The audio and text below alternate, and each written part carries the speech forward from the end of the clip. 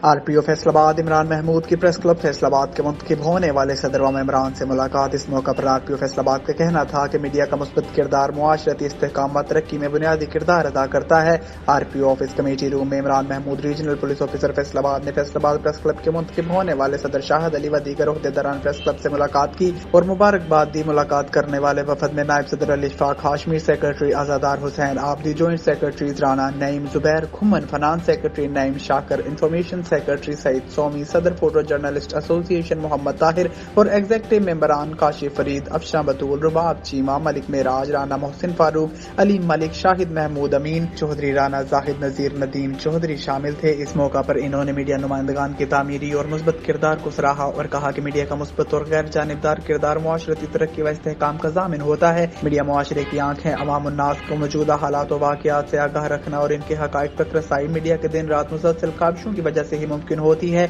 इन्होंने उम्मीद ज़ाहिर की कि आने वाले वक्त में मीडिया के ताउन से हालात को पुरअमन और नुक्स अमन से पाक रखने की हर मुमकिन कोशिश की जाएगी, ताकि न सिर्फ़ रीजन फैसलाबाद को क्राइम फ्री बनाया जा सके, बल्कि लोगों को दरपेश मसाइल का अजाला किया जा सके, जिससे मुआशरती बुराइयों का किला कमा करने में भी मदद मिलेगी। इस मौका पर सदर व मेम्बरान प्रेस क्लब ने बाहर में दिलचस्पी के अमूर पर तबादला ख्याल करते हुए अपने ताउन की मुकम्मल यकीन दहानी करवाई।